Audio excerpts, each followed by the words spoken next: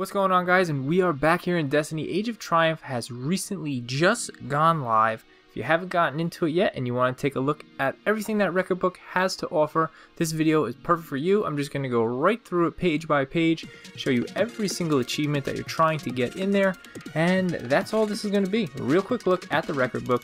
Let me know in the comments down below what you think is going to be the hardest achievement to obtain or the hardest piece in this record book to get. For me, I'm going to guess probably getting to the lighthouse. Not a huge PvP player, and not really big into trials, but maybe I'll get a good group together and we'll try to get that completed. But you guys let me know in the comments down below what you think is going to be the hardest thing to get. Hope you enjoyed this video. If you did, leave a like. Let's get right into it. Take a look at everything there is in the new record book. Thanks for watching, guys, and I'll see you next time.